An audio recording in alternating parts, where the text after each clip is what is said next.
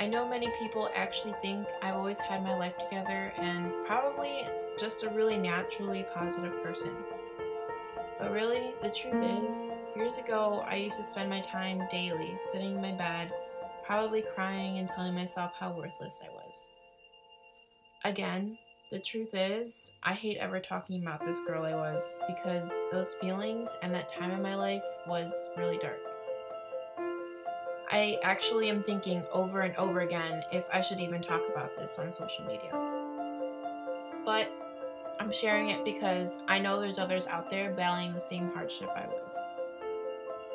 Years ago, I wouldn't have been able to tell you that I'd see myself happy one day. I had 100 mean things to say about myself and everything around me. I can't tell you that my words will change your life or make everything better. But if you listen closely, and not only listen but take action, you can see a change.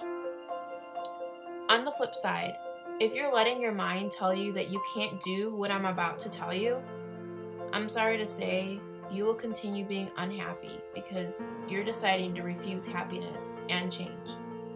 It might sound kind of offensive, I know. And you can go ahead, pause, and shut off this video because I really can't sugarcoat real life for you. So let's get started. I have 10 things that were pertinent in finding my true self and letting go of the girl I was. Number one, first, accept. Second, change. It sounds so simple, but we all know it's not. But that's life's greatest challenge and what can really depict how strong we can be in life. Accept that you're wrong, accept that you're not perfect, accept that you're not in peace, accept that you're not happy, whatever it is, then change. Because you have the ability to change your life and mold it. Number two, write down all of your complaints or even think them out loud. Your friend irritated you today, your job is frustrating and way too busy, your relationship is falling apart, then look at it from a different perspective. Is there a solution to these issues? Is there a positive to these complaints that you are overlooking? I'll leave the rest of this to you. Number three, focus on finding yourself. What's your purpose? You will thrive on your purpose. That's what you're on this earth for, so live for it. Number four, it's okay to take risks. It's okay to not listen to what other people are telling you to do. Listen to you. Number five, let what hurts you go. Let it go or let it make you miserable for the rest of your life. I'll leave, the, I'll leave that decision up to you. Number six, this one sounds pretty easy. Smile. Literally, just smile, laugh, dance, even if there's absolutely no reason to. Who cares if you look silly? I'm telling you now that it'll make you feel better. Number seven, deflect your negative energy into something positive. Whether this is lifting, running, drawing, writing, singing, maybe you can even go to counseling. Just let it out somehow. Don't keep it inside. Number eight, get outside of your comfort zone. Growth begins when you're willing to feel awkward and uncomfortable to try something new and different. Number nine. Before I say this, I'm gonna have a little disclaimer. No, you can't run from everything negative in your life. Negativity will actually push you down and challenge you to see how far you can bend until you break. I've been there. And this is partly what this whole video is about how to be strong and how to get through it. But you know deep down what's really draining the energy out of you. So, if possible, surround yourself with as much happy as you can and get rid of what's bad for you. Number 10.